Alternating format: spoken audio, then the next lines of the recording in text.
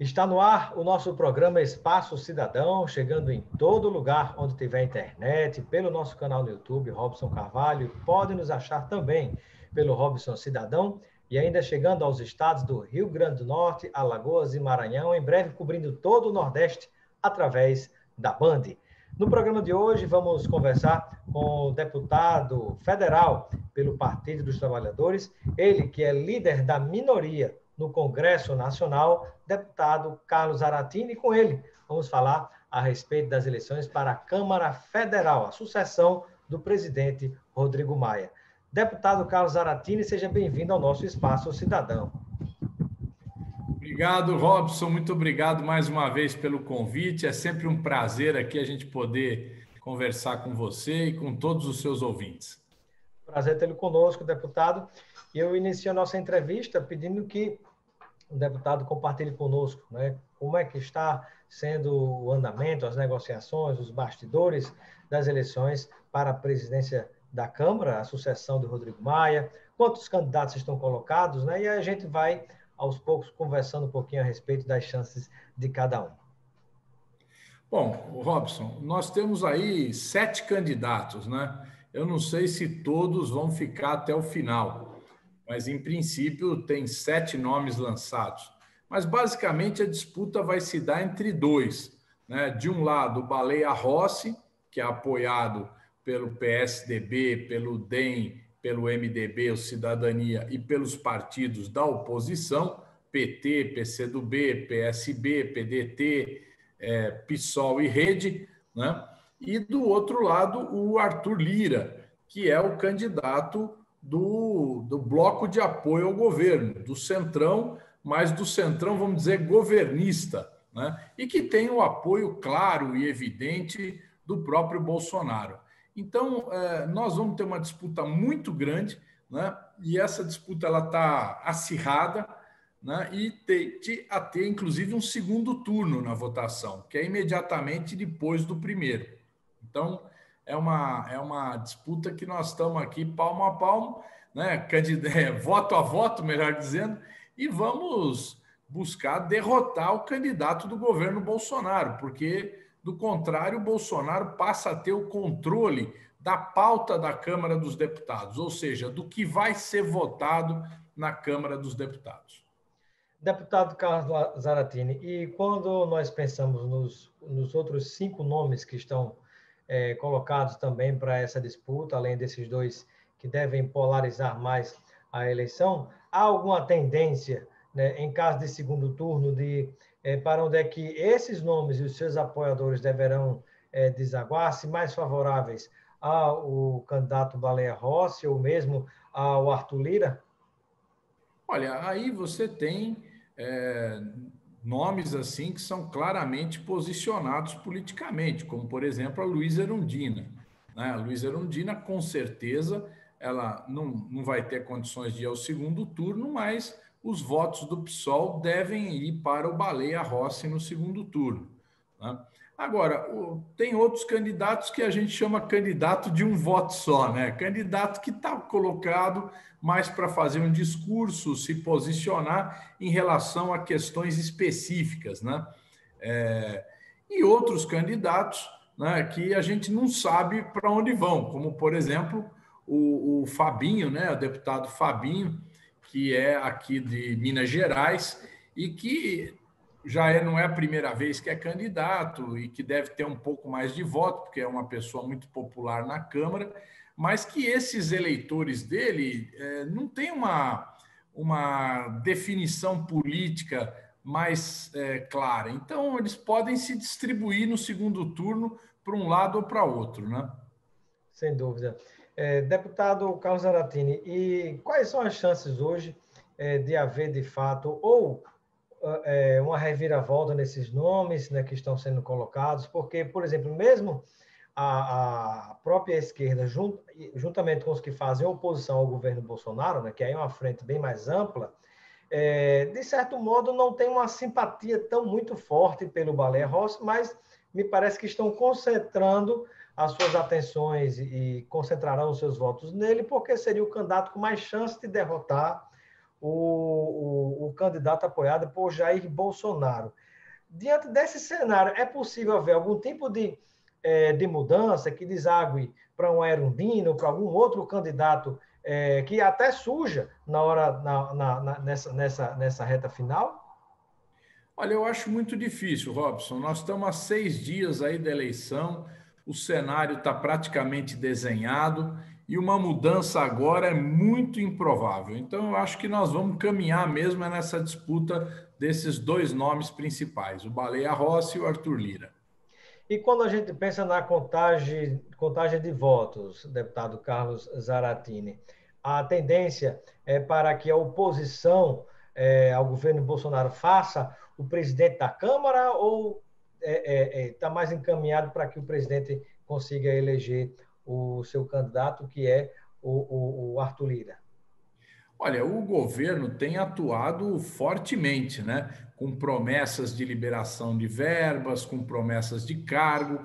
É uma atuação jamais vista, inclusive buscando interferir na vida interna dos partidos, o que não é uma coisa comum, né? Buscando criar dissidências, é, criar problemas para os líderes, e isso está sendo muito mal visto aqui na Câmara dos Deputados. É uma interferência do executivo no legislativo, coisa que fica sempre cria arestas muito grandes. Agora, é, é uma força, né? evidentemente que isso significa força, mas eu acredito que a nossa junção da oposição com esse bloco é, de centro-direita, aí capitaneado pelo Rodrigo Maia, né, com, que apoia o Baleia, eu acho que isso tem as condições de derrotar e de colocar a Câmara no rumo da democracia, porque é isso que a gente quer. Nós queremos, inclusive, que esse governo, que está sendo tão é, é, é, vergonhosamente relapso com a pandemia, deixando a pandemia se alastrar, não se preocupando com as vacinas, deixando o povo sofrer agora sem auxílio emergencial. Nós consideramos que esse governo tem que ser julgado pelo Congresso. Né? Então, tem mais de. São quase 60 pedidos de impeachment. Hoje mesmo vai entrar um outro pedido encaminhado por lideranças religiosas. Amanhã, nós da oposição vamos apresentar um novo pedido de impeachment. Nós queremos que isso seja avaliado. Evidentemente, se ganhar um candidato ligado ao governo, ele vai simplesmente arquivar todos esses pedidos. E por que que o atual presidente Rodrigo Maia não, não, não coloca para ser votado um desses mais de 60 pedidos de impeachment, deputado? Porque, é, é, às vezes, é como que o presidente da Câmara está fazendo claramente um jogo duplo, né? Não, não, não apoia o Bolsonaro, mas também não bota o, pedido para andar, aí depois diz que é porque não teria voto suficiente, mas também não libera o Congresso para funcionar é, para daqui a pouco, né, que se Deus quiser com as vacinas, a gente possa ter o povo na rua e mostrar realmente a situação como ela está, né, de, de, de falta de apoio ao governo, mas realmente essa postura não é estranha, não é esquisita do presidente Rodrigo Maia? Exato, é uma situação muito complicada, porque não, não é por falta da oposição cobrar, porque a gente cobra que o Rodrigo Maia analise esses processos, né? E ele sempre diz que não, se a gente colocar para votar, é, isso vai acabar, como não tem mobilização nas ruas, isso vai acabar levando a um fortalecimento do Bolsonaro. Olha, eu sou da linha daqueles que acham o seguinte: as coisas têm que ser feitas como elas são. Se tem mobilização na rua ou não, inclusive pode ter caso haja um pedido de impeachment andando aqui. Aí se gera mobilização. Né? Então, o, o Rodrigo Maia, no meu modo de ver, é profundamente equivocado. Né? comprometido teve... com o governo, né, deputado? Porque há interesses em pautas, sobretudo econômicas, do, do governo. Há, inclusive, membros do próprio partido dele, o, o DEM, é, ocupando cargos e ministérios do governo, né, como é o caso de setores é, do próprio PSDB, quando não diretamente, indiretamente também. É, eu acredito que o problema não é esse, Robson. porque eu acho que a situação do Rodrigo Maia é influenciada mais pelo sistema financeiro. Ele é muito ligado aí aos interesses financeiros, os banqueiros, os, as empresas aí de capital financeiro, que essas estão ganhando dinheiro como nunca ganharam. Porque as pessoas têm que entender isso. A pandemia acelerou o processo de concentração de renda no Brasil. Os ricos ficaram ainda mais ricos. Né? E, evidentemente, eles para eles está bom, eles não estão achando que está ruim, não. Então, tá bom assim. Então, evidentemente que o Rodrigo Maia, apesar de ter uma consciência democrática diferente da do Bolsonaro, é pressionado por interesses econômicos que não querem que as coisas mudem. Né? Então a gente tem que olhar direitinho que essa, esse empresariado brasileiro, especialmente o grande empresariado, não quer mudança, quer continuar como está. E é por isso que é, a, coisa não caminhou, no meu modo de ver. Mais do que por essa questão de cargos do DEM, que eu acho que isso é, não importa tanto. Eu acho que mais é a pressão do empresariado para não mexer com a política econômica do Bolsonaro, do Paulo Guedes, que no fundo estão levando o Brasil para o buraco e eles cada vez mais ricos. Isso que é interessante, né? Sem dúvida, né? E a reforma tributária que poderia começar a fazer um pouco mais de justiça, de justiça social vai sendo deixada de lado.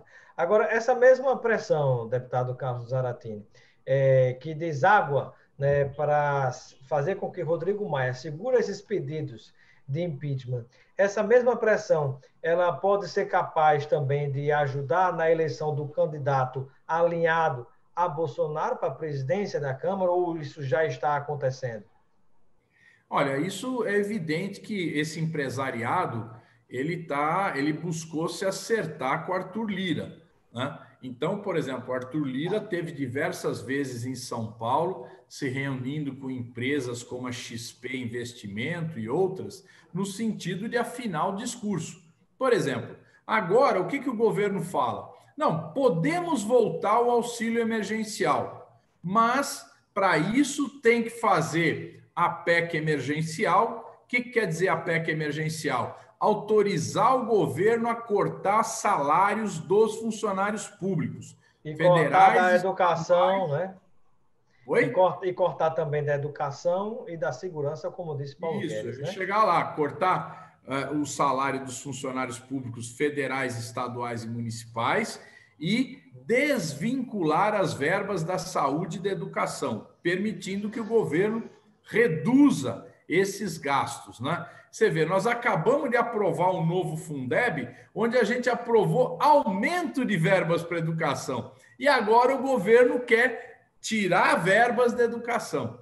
Então, eles colocam essa situação, querem também mexer com abono salarial, o chamado 14º salário, que são que é pago todo ano aos trabalhadores que têm renda de até dois salários mínimos, recebem um salário mínimo por ano né? É, uma, é uma distribuição de renda para quem ganha pouco, porque não vamos dizer aqui que quem ganha dois salários mínimos ganha bem, né? pelo contrário. Então, eles querem tirar dos pobres para dar para os muito pobres.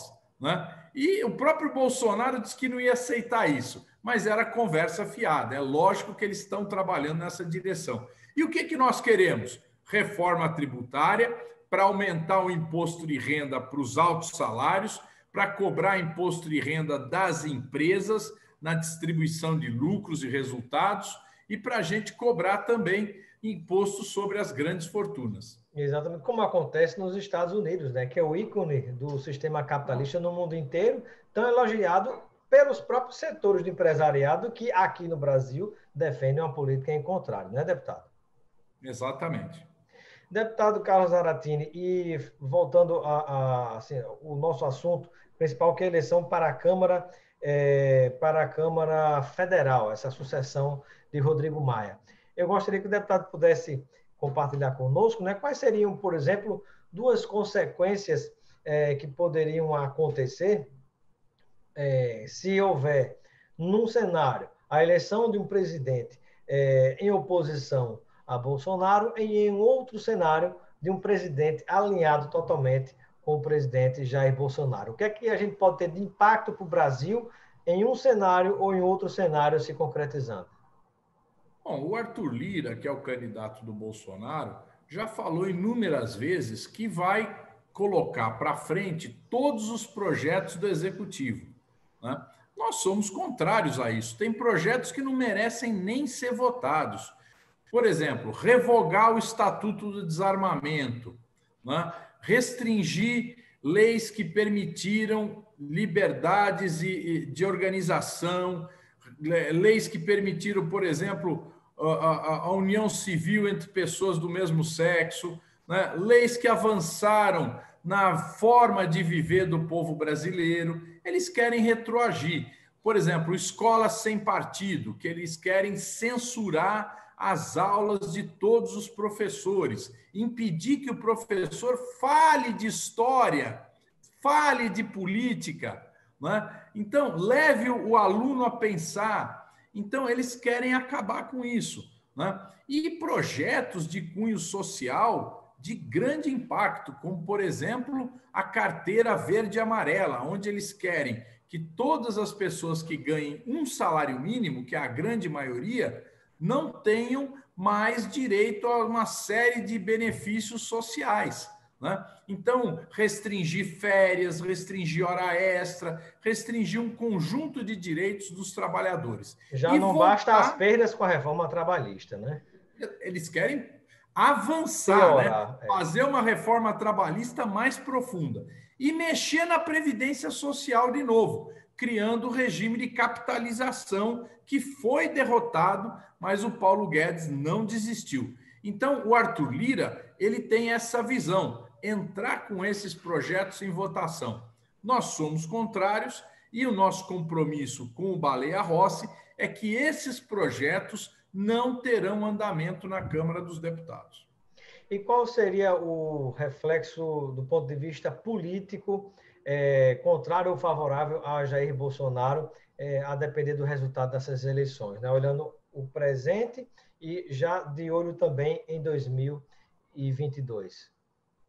Bom, nós estamos preocupados também, evidentemente, com processo, projetos que visam a, a, a anarquizar o processo eleitoral. Né? O Bolsonaro tem falado aí no voto impresso. Né? Olha, eu me lembro do voto impresso, eu não sei se as pessoas se lembram, os mais velhos se lembram, era uma roubalheira sem fim. Né? Então, querer voltar para o voto impresso é um absurdo, certo? É voltar à manipulação de votos. Então, evidentemente que um projeto como esse, colocado aí na pauta, nós não podemos concordar, porque altera o resultado eleitoral em 2022 e fortalece, sem dúvida nenhuma, o Bolsonaro. Muito bem. Deputado federal Carlos Aratini, é, tem algum outro tópico que você considera importante para a gente compartilhar com o nosso telespectador, com o nosso internauta aqui no nosso programa a respeito das eleições para a presidência da Câmara? Olha, eu acho que o mais importante é a gente falar para o povo aí, eu quero dizer a todo mundo que está acompanhando o seu programa, que nós do PT continuamos lutando e continuamos insistindo pela volta do auxílio emergencial, que é uma necessidade do povo brasileiro. O povo brasileiro está numa situação de penúria sem esse auxílio, porque o desemprego ele está cada vez maior. Muitas empresas fechando em São Paulo, por exemplo, voltou a ter restrições ao funcionamento do comércio, de bares e tudo mais, né? e isso leva ao desemprego, a mais desemprego. Então era necessário que o governo voltasse com o auxílio, mas não tirando direitos que já existem para outros trabalhadores. O que nós queremos é cobrar dos grandes bilionários brasileiros que no Brasil 5% da população tem 50% da renda. Né? Então, nós precisamos. E os outros 50% mais pobres têm 5% da renda. Então, é o inverso. Né? Nós precisamos tirar dos bilionários para distribuir para a maioria do povo brasileiro e por isso nós queremos de volta o auxílio emergencial. E qual é a chance, deputado, da volta dos trabalhos presenciais na Câmara dos Deputados e no Senado?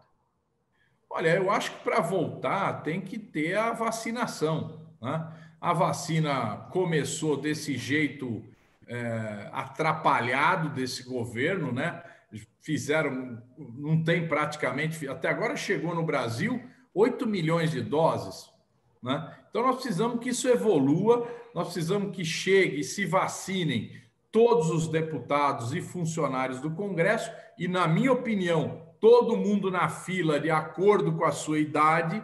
Né? Então, começa pelos mais velhos e vai chegando nos mais novos. Mas para voltar plenamente o Congresso, eu acho que o Congresso teria que estar vacinado. Então, seria uma questão de praticamente, aí eu acredito, mais uns três ou quatro meses, se a vacinação andar. Principalmente a necessidade da presença do povo nas ruas, que também depende dessa vacinação. Né? Mas quero dizer, Robson, que eu sou contra qualquer privilégio, viu?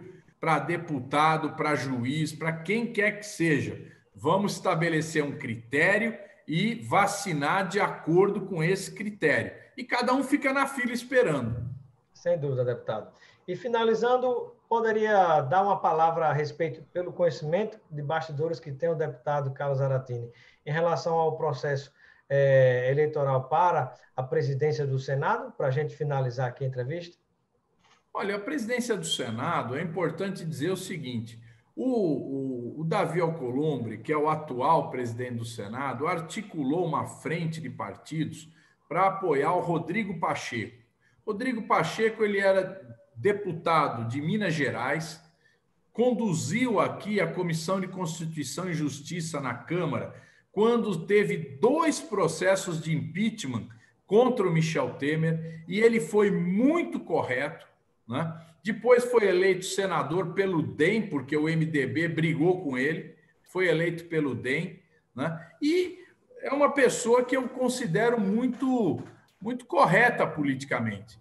O Bolsonaro, quando viu que a maioria estava apoiando o Rodrigo, falou: não, vamos apoiar o Rodrigo Pacheco também. Eu, então tem muita gente que fala: ah, o Rodrigo é o candidato do Bolsonaro.